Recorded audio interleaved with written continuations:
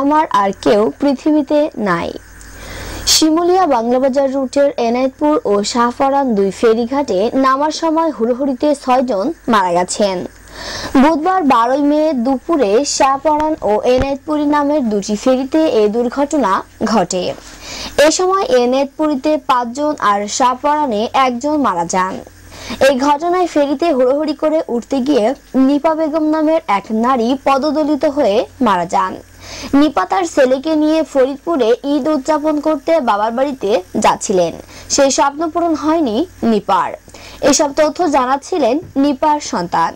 সে আরও বলেন, আমার আর কেউ পৃথিবীতে নাই।